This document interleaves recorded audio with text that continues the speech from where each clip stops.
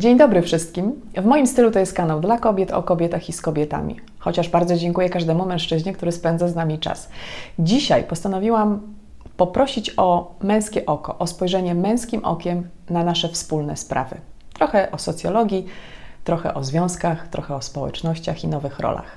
Dzisiaj dr Tomasz Sobierajski, socjolog. Zapraszam.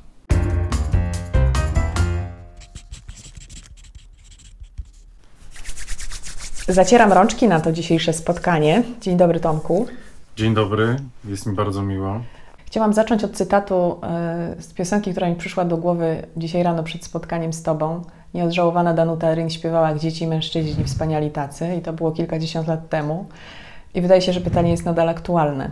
Co takiego się dzieje, jak socjologowie to zjawisko definiują e, w społeczeństwach, w relacjach, w związkach, że tak trudno jest nam się dogadać i to chyba nie będzie e, wyolbrzymione stwierdzenie. Posłuchaj, to jest absolutnie niesamowite, że zaczynasz od Danuty Rin z tego powodu, że nie dalej jak kilka dni temu oglądałem taki program 100 pytań do, był kiedyś w telewizji taki program, chyba z Był 90 roku.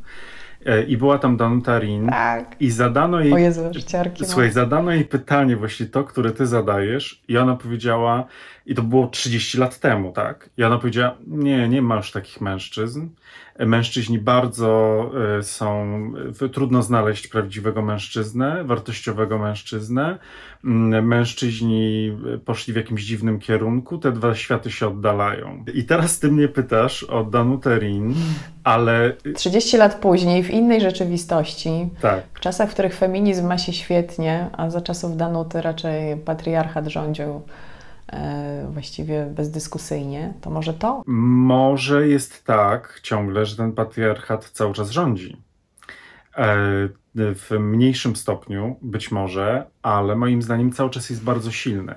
E, I cały czas my jesteśmy wychowywani w patriarchacie, jesteśmy przyzwyczajeni do tego, że ten patriarchat jest, i przez te 30 lat E, niewiele się zmieniło, to jest jedna rzecz, a druga rzecz to być może zależy od tego, komu zadajemy to pytanie. Jeśli zadajemy pytanie kobiecie, mhm. która jest, tak jak 30 lat temu Dan Tarin, albo e, wiele też Twoich e, słuchaczy, oglądaczek, to są kobiety samodzielne, silne, zdobywające świat, odważne, podobnie jak ty, które mają swoje zdanie i, nie boją się tego zdania powiedzieć. E, no to może rzeczywiście jest tak, że, że, że zawsze, zawsze w historii świata było tak, że trudno było takim kobietom znaleźć mężczyznę, który dotrzyma im kroku, który nie mhm. będzie potrzebował, żeby ten mężczyzna ich jakoś uzupełniał albo w czymś pomagał, tylko żeby był partnerem w wędrówce. E, I, i, i tu też może być e, odpowiedź na to pytanie. Tu też może być pies pogrzebany. Może. No dobrze, no, no tak, no ale to yy, skoro powoli, być może na końcu rozmowy złapiemy się na tym, co teraz się wydaje być tylko faktem, czyli na tym, że bez względu na epokę trudno jest silnej, mądrej, świadomej, e, bogatej wewnętrznie kobiecie znaleźć partnera, to jest pytanie, czy, czy mężczyźni mogą bądź mają podobne spojrzenie na nas. Czyli czy też nie mogą znaleźć odpowiedniej partnerki na życie, czy też nie mogą znaleźć po prostu, czy też jest im trudniej? Myślę, że to zależy od y, człowieka. Jak, jak wiesz, w związku z tym, że jestem socjologiem, więc y, zaczynam swoją wypowiedź od y, zależy od tego, w jakiej rodzinie się wychowaliśmy, w jakim miejscu się wychowaliśmy, jakie mamy wykształcenie, jaki mamy ten kod kulturowy, który wynieśliśmy w, z domu. E, czasami pewne rzeczy są, są bardzo proste, ponieważ wychowujemy się w rodzinie o bardzo takich e, tradycyjnych zasadach. E, wiemy, że przychodzi moment, że musimy nie wiem, ożenić się, wyjść za mąż, mieć dzieci, potem te dzieci mają dzieci, rozwód jest absolutnie niedopuszczalny i tak dalej, i tak dalej. Ale może być też rodzina, gdzie mm, jest pełna swoboda, że ludzie się spotykają, wcale nie się nie pobierają ze sobą małżeństwo małżeństwo nie jest tą najważniejszą rzeczą. Dzieci nie są w ogóle wliczone w tę historię, mhm. więc jesteśmy bardzo różni, są bardzo różne mm, potrzeby. Natomiast kiedy pytasz się mnie o mężczyzn, bo słyszę taką narrację, która mnie trochę uwiera, y, związaną z tym, że y, co, co pewnie się przebija w ogóle do mainstreamu, że kobiety mówią, już nie ma takich mężczyzn jak kiedyś, mając w myśli chyba swoich, nie wiem, tatusiów, którzy potrafili, nie wiem, wszystko przykręcić śrubkę albo zreperować y, y, spłuczkę przy sedesie ale mhm. okej, okay, może być facet, który nie będzie potrafił przykręcić tej śrubki i zreperować w tej, tej spłuczki przy sedesie, ale może to będzie facet, który będzie w stanie zaproponować coś innego, coś ważniejszego. E, może to będzie facet, na którym będzie można polegać. Bo jak się zapytamy mamusi, to może było tak, że tatuś był złotą rączką, ale ta mamusia na nim nie mogła polegać. Nie, mógł, nie był jej partnerem. Nie był partnerem, ale może właśnie tu e, te proporcje są teraz odwrócone, czyli my nie szukamy mechanika i złotej rączki, bo można sobie mechanika i złotą rączkę z tak zwanego miasta wydzwonić, tak, z ogłoszenia i przyjdzie i zrobi, natomiast może szukamy partnera w tych czasach do czegoś kompletnie innego. Właśnie już nie do pracy fizycznej, nie do ochrony, obrony i poczucia bezpieczeństwa, tylko do czegoś innego. Nabieram głęboko powietrza, bo chcę powiedzieć coś, coś ważnego, ale może nie, niepopularnego. Szukacie ideału. Oczywiście tu mocno uogólniam, natomiast y, y, widzę, jak zastanawiam się nad tym i badam te zjawiska, jak bardzo dużą krzywdę y, kobietom w Polsce zrobiły na przykład seriale E, począwszy od seriali amerykańskich, przez chociażby y, serial typu Magda M, gdzie ten facet, który tam był prezentowany, to był jakiś no, no, totalny ideał. I potem wyrastanie w takim przeświadczeniu, ale też wyrastanie w bajkach, gdzie się pojawia książę. Ten książę mhm. też jest odpowiednio, ten książę umie jeździć konno i strzelać i w ogóle jest przystojny, fantastyczny, ma jakąś grzywę włosów i, i, i, i całuje fantastycznie w, i, i, i potem zabiera jeszcze i, i żyją długo i szczęśliwie. To robi potworną krzywdę.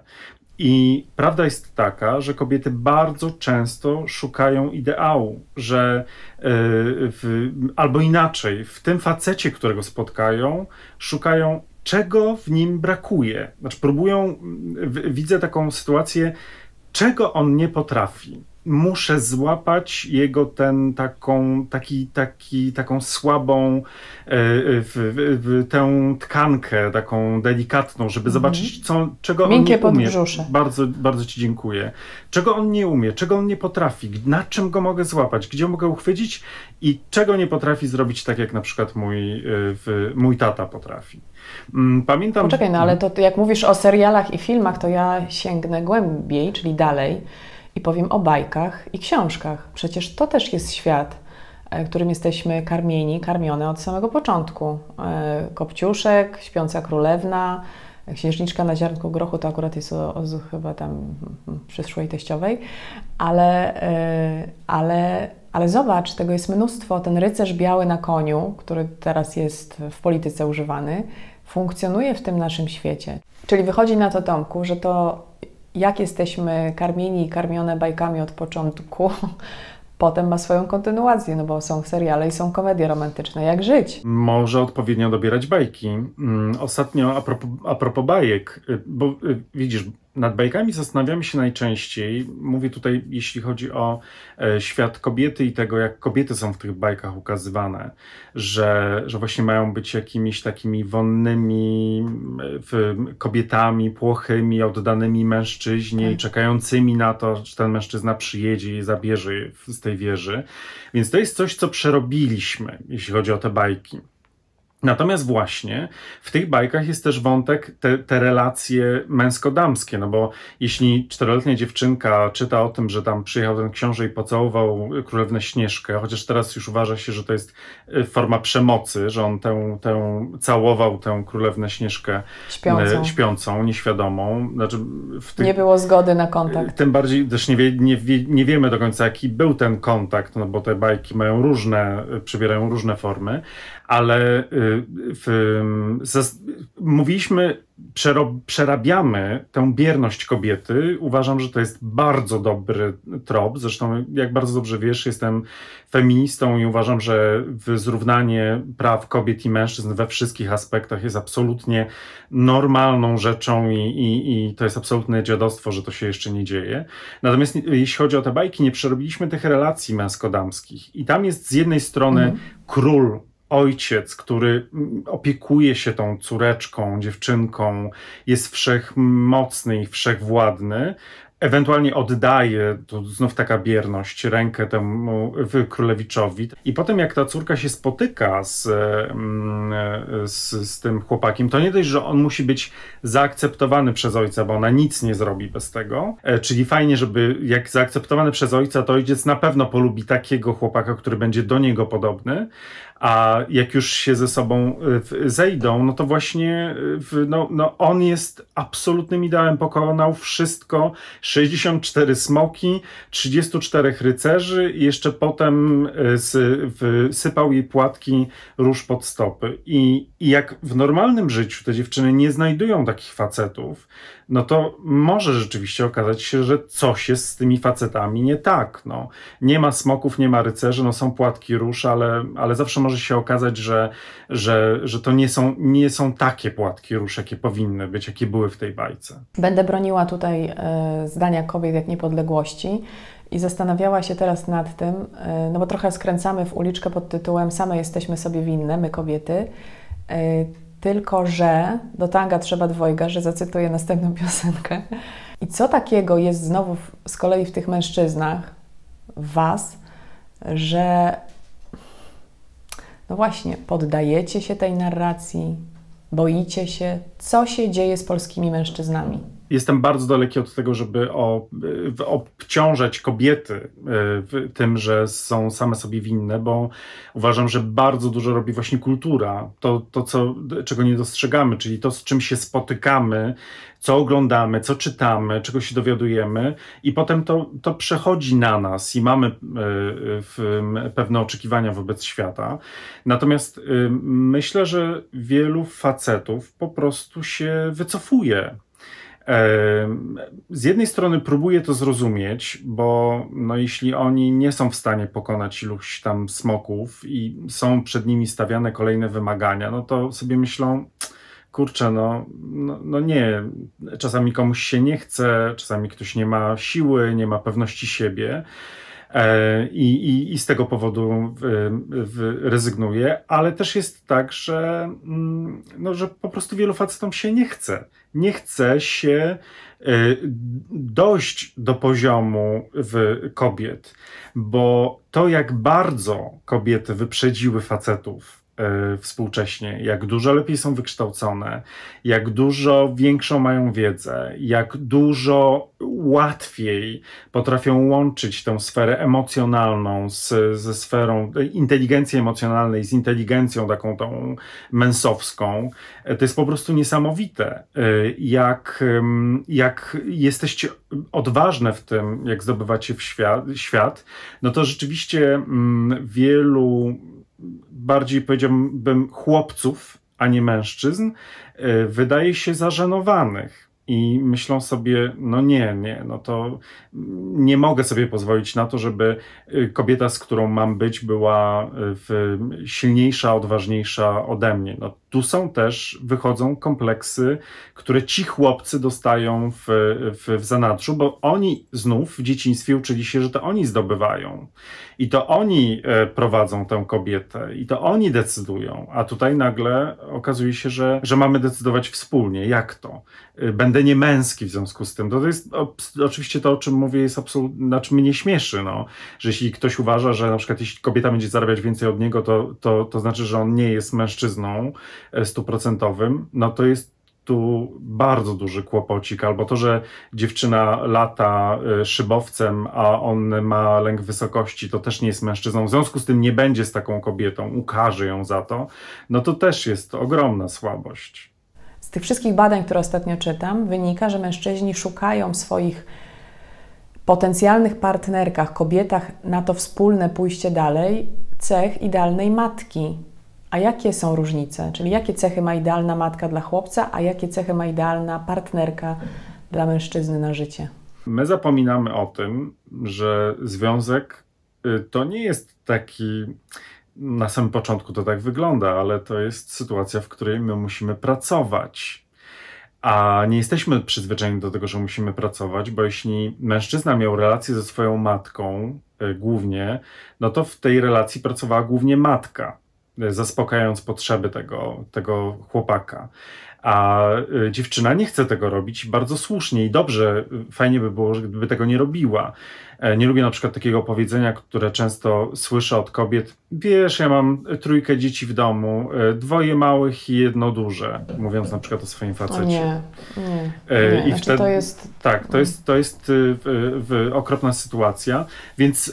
Ty, ty... Znaczy to niestety świadczy też o kobiecie, która tak mówi, bo chyba jednak z całym szacunkiem rozumiem, mogę na jakimś poziomie zrozumieć te pobudki, ale I jak, krok za daleko. Tak, no i jak ma się czuć ten facet? Ale z drugiej mhm. strony też chciałbym mm, stanąć w obronie matek, żebyśmy też nie dali się y, zwariować, ponieważ y, jeśli mężczyzna szuka kobiety podobnej do matki, a ta matka jest super kobietą, jest, jest fajnym człowiekiem bardziej, może nawet niż kobietą, to z jakiego powodu ma tego nie robić?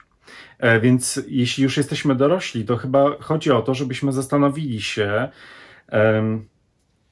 co jest dla nas ważne, y, jakiej osoby szukamy i czy w tej dziewczynie znajdziemy taką osobę, w, w, jaką chcemy w, znaleźć. I spróbujmy też spotkać się ze sobą i zobaczyć, czy to, że mamusia nam e, ścieliła łóżko, e, prała rzeczy, że nie znamy obiegu e, w koszuli, którą wrzucimy do kosza na brudną bieliznę, a potem znajdziemy uprasowaną w szafie, co się dzieje w międzyczasie, nie wiemy, jak przebiega ten cykl, no to jest z nami coś nie tak. I zanim z jakąkolwiek dziewczyną zaczniemy się umawiać, spotykać i zakładać związek, to jednak warto by było, żebyśmy poznali świat i poznali, jak wygląda życie, i, te, i z tego powodu też namawiam ludzi do tego, żeby e, zanim wejdą w jakąś relację i związek, prowadzili samodzielne życie, żeby nauczyli się,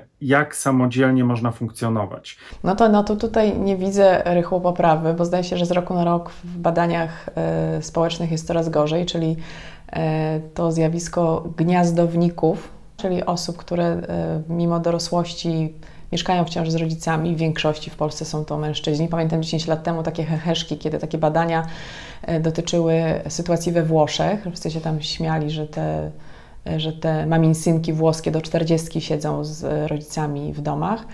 No a w Polsce wygląda to tak, że zdaje się, że do późnych lat 30. zdecydowanie więcej mężczyzn zostaje w domu z rodzicami, nie idąc na swoje. Mhm. No i... no i... co?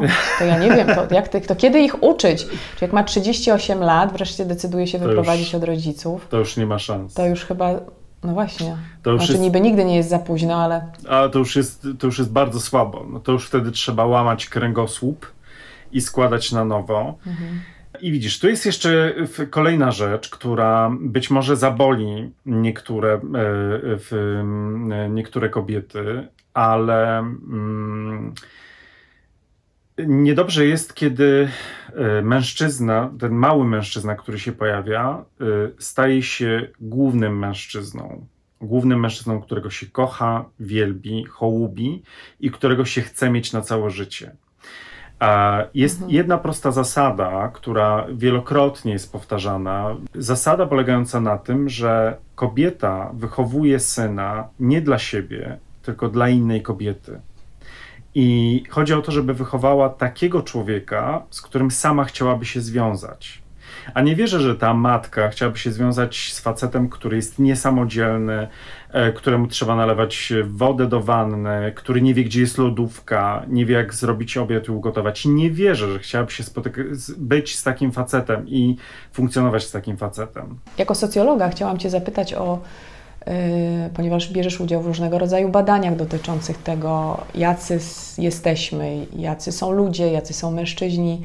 Czy są jakieś badania, które definiują polskiego mężczyznę. Jaki on dzisiaj jest, czego on chce, e, czym się wyróżnia być może na tle mężczyzn w innych krajach świata, Europy?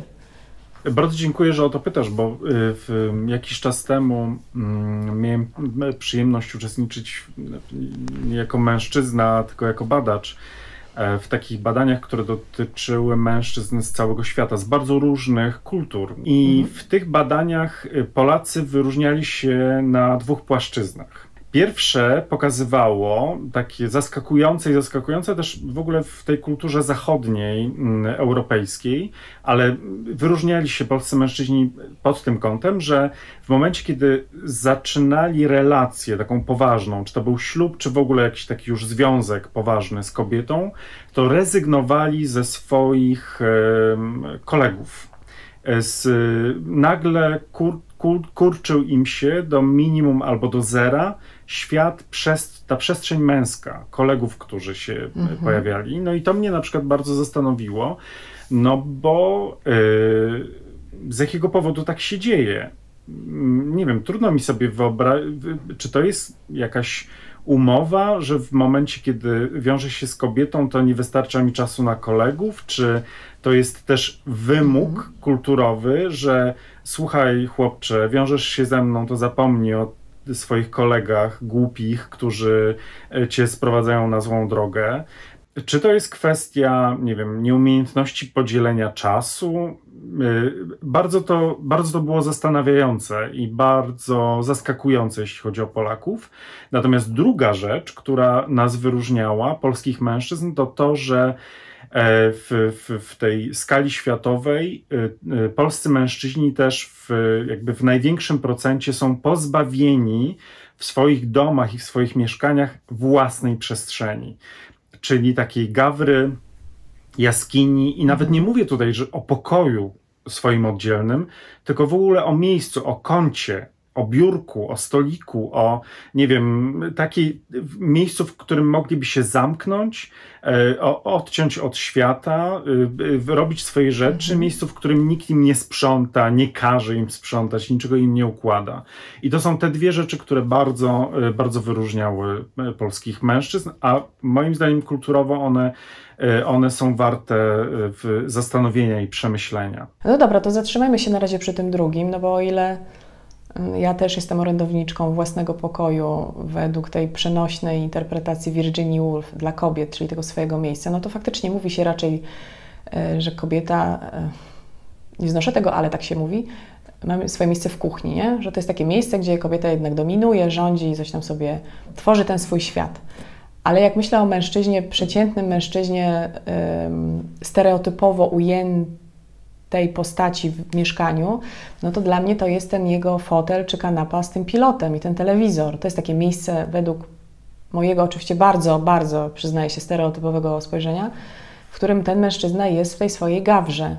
Bo jak to mówisz, to ja na przykład sięgam pamięcią wstecz i myślę o moim ojcu, który miał pod naszym domem garaż. I on po prostu, jak się kończył dzień, to tata wracał z garażu i mama krzyczała: Zamknąłeś garaż? No i on wracał po prostu ze swojej gawry do domu. Mhm. Ale jak myślę teraz o tym, co mówisz, bo jesteśmy 40 lat później od tamtych moich wspomnień, no to w istocie mamy małe mieszkania, e, mieszkamy w blokach, nie ma, no nie ma dokąd pójść. E, być może nawet na początku związku, kiedy ci ludzie mieszkają w tym małym mieszkaniu, taka przestrzeń się znajdzie, ale potem właśnie oddajemy tę przestrzeń dzieciom i to robią i kobiety, i mężczyźni. E, bo, bo o ten własny pokój nie walczą i kobiety, i, i, i mężczyźni, chociaż jakby kiedyś kulturowo mężczyźni mieli ten pokój częściej. W tej chwili tak nie ma i tracą go i kobiety, i mężczyźni, i być może warto mhm. się zastanowić w tym związku i w tej relacji, w której jesteśmy, że jeśli nie jesteśmy w stanie wygospodarować tego pokoju przestrzennie, to może jesteśmy w stanie wygospodarować i dla kobiety, i dla mężczyzny, żeby ta relacja też była e, w, w, dla, dla dobra tej relacji, żebyśmy byli w stanie wygospodarować gdzieś ten pokój na zewnątrz, jakiś zrobić, nie wiem, outsourcing, że, że tym pokojem na przykład dla e, kobiety będzie nie wiem, jakiś spacer albo, albo jakieś zajęcia, albo spotkanie w ogóle z, z, z innymi ludźmi. Dla mężczyzny też mhm. to coś będzie. Będzie jakaś taka przestrzeń, w której on będzie mógł pobyć sam, żeby, żeby nie musieć odpowiadać na pytania, o czym myślisz i dlaczego nie o mnie.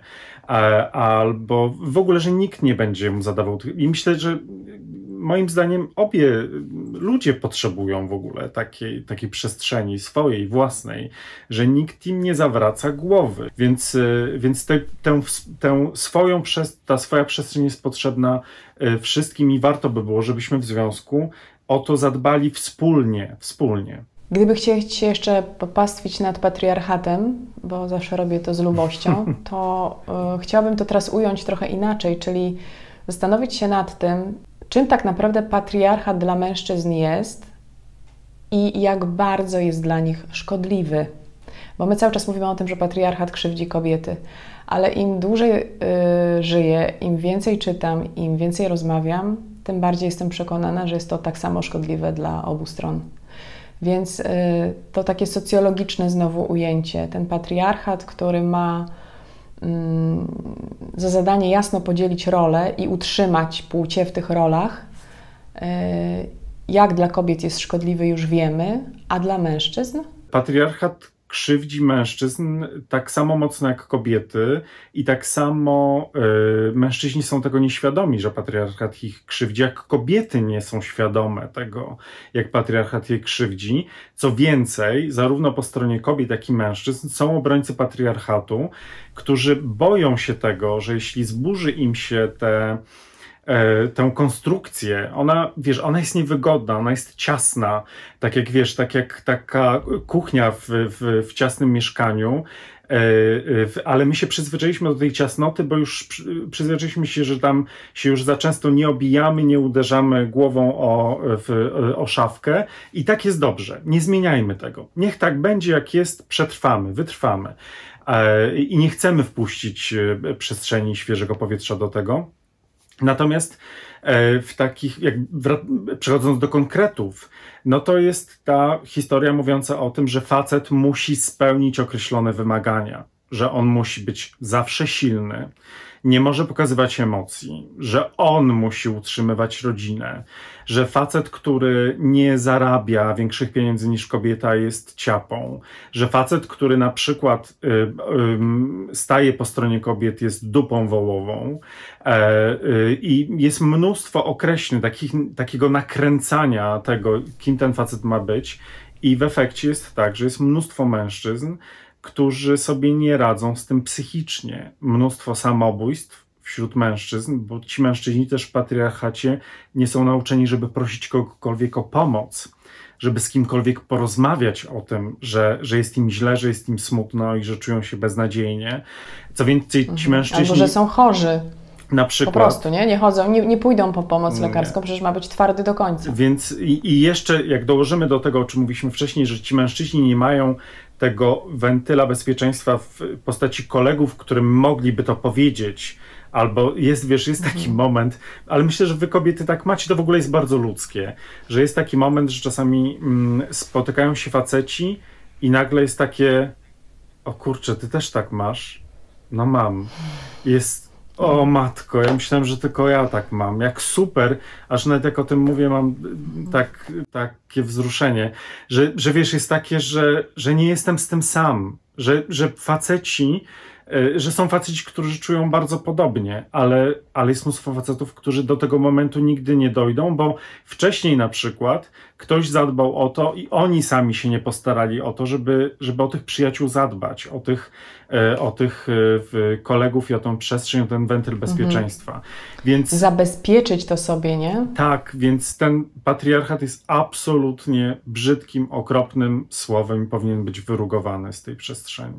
Teraz mi przyszło do głowy, że jeśli pojawiłaby się w nas ta odwaga do mówienia prawdy, to może zmieniłyby się prognozy, o których ostatnio czytałam, dotyczące tego, w jakich y, sytuacjach, jeśli chodzi o związki, będziemy w Polsce za 10-15 lat. I z tych badań wynika, że y, przy bliżeniu w tym okresie czasu, czyli 10-15 lat, będzie grubo ponad połowa e, singli i kobiet, i mężczyzn, czyli nie będziemy wchodzić w żadne stałe relacje.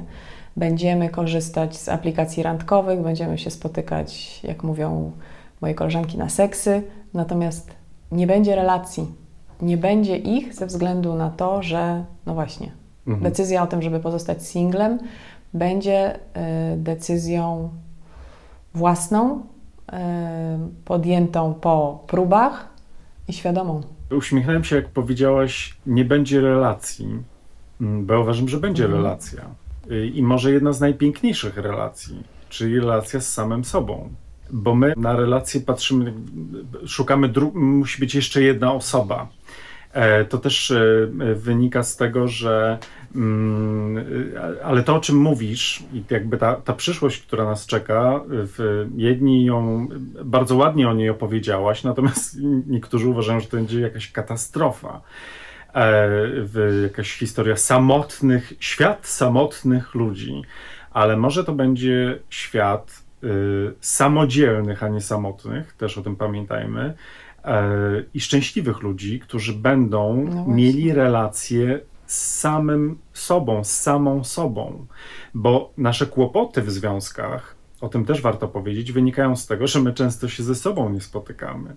Że właśnie my nie mówimy sobie, w czym jesteśmy Oj, świetni tak. albo w czym jesteśmy słabi. E, nie mówimy sobie, nad czym moglibyśmy popracować.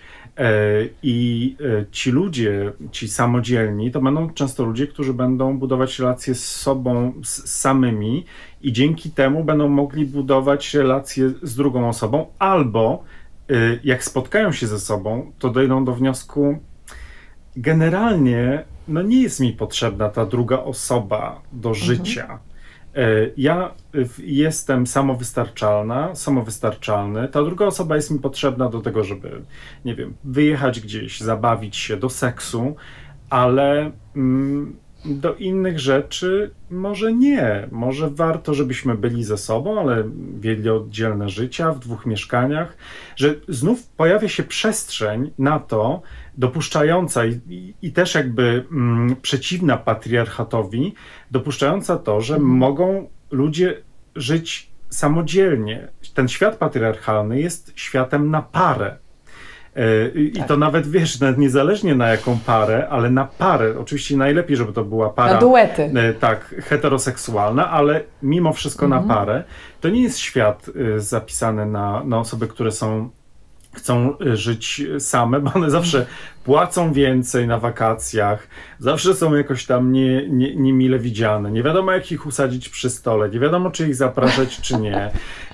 Na te chrzciny i wesela w pojedynkę, tak. a z kogo oni przywiozą? Jakąś przypadkową osobę ola Boga. Nie wiadomo, co z nimi zrobić, że są w ogóle jacyś tacy właśnie niedoparowani, bo wszystko, nam, wiesz, chodzi o to, żeby było symetrycznie, że jest para. E, w, w, a, a fajnie by było, żeby, żeby myśleć, zacząć myśleć inaczej inaczej i myśleć również o takiej grupie tych samodzielnych osób, które, e, które również e, mogą być szczęśliwe. I chodzi o to, tu widzisz, też dochodzimy do takiego bardzo ważnego wniosku. Druga osoba nie da ci szczęścia, kobieto czy mężczyzno. Jeśli ty sama, sam nie dasz sobie szczęścia i nie będziesz dla siebie wystarczający, to nie znajdziesz tego w drugiej osobie. Jeśli szukasz tego w drugiej osobie, to tylko się sfrustrujesz, bo, bo będziesz miał do tej osoby oczekiwania takie, jakie masz do, do, do siebie i właśnie to będzie kwestia, mhm. czy się domyśli, czy się nie domyśli, czy zrobi, czy nie zrobi, czy, czy, czy doskoczy do pewnego poziomu, czy nie doskoczy.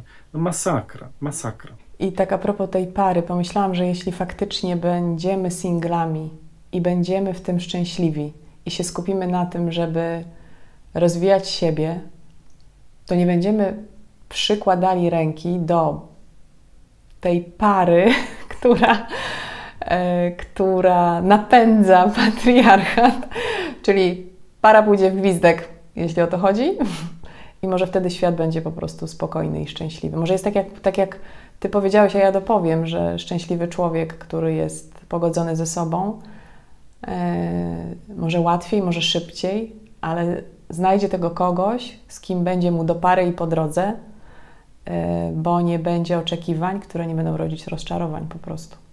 Ale też na pewno znajdzie przynajmniej jedną relację, czyli tą dobrą relację z samym sobą. A, a potem może budować tak, tak jeszcze. Tak, tak. W, a potem na inne. tym tak. Mhm. Tomku, bardzo Ci dziękuję. Miała być to rozmowa naukowo-socjologiczno-akademicka, wyszła ludzka. I za to Ci dziękuję. Mia miało być dobrze, wyszło jak zwykle. To jeszcze raz ja Ci dziękuję. Jestem absolutnie zaszczycony i chciałem powiedzieć na, na koniec, że cieszę się, że jesteś w YouTubie, bo gdybyś była w telewizji, to raczej byś mnie tam nie zaprosiła, bo znaczy mógłbym powiedzieć, bo nie wystąpiłem w żadnym filmie, ale to nie jest prawda, bo właśnie wchodzi na ekrany film z moim udziałem. Zagrałem tak? debiutu Magnusa von Horna czyli wspaniały film fiu, Sweat. Fiu. Nie wiem, czy będę tam 20 sekund, y, może, czy dłużej, czy w ogóle będę, ale jestem wymieniony w obsadzie, więc chyba w ogóle będę, więc jeszcze tym, ale, ale i być może to... Ale zagrałeś Aragorna? Y, nie, zagrałem y, w, absolutnie wbrew warunkom, ponieważ w scenariuszu był czarujący mężczyzna więc musiałem grać mhm. wbrew warunkom, ale podobno wyszło świetnie. E, więc, e, więc i, i to mógłby być pretekst, żebyś mnie zaprosiła do telewizji, bo już wystąpiłem w filmie, wiadomo, ale, ale chyba jeszcze musiałbym długo czekać, więc. A tutaj mogliśmy się spotkać, porozmawiać, spełniło się moje marzenie. Za, zaprosiłam Cię dlatego, że masz po prostu wiedzę i to jest e, klucz doboru. I za to Ci dziękuję, że znalazłeś czas i się z nami nią podzieliłeś. Wszystkiego dobrego dla wszystkich sparowanych czy niesparowanych. Pamiętajcie, żeby nigdy Wasza para nie poszła w gwizdek. Róbcie swoje rzeczy dla siebie samych, a będzie dobrze. Dzięki serdeczne Tomku i do zobaczenia. Dziękuję. Dziękuję bardzo za dziś. Jak zawsze dziękuję również za lajki, za subskrypcję, za podawanie dalej tej rozmowy. Dzielcie się wszystkim, co dobre, a wszystkiego dobrego zawsze Wam życzę. I dzisiaj też, i do zobaczenia w następny wtorek.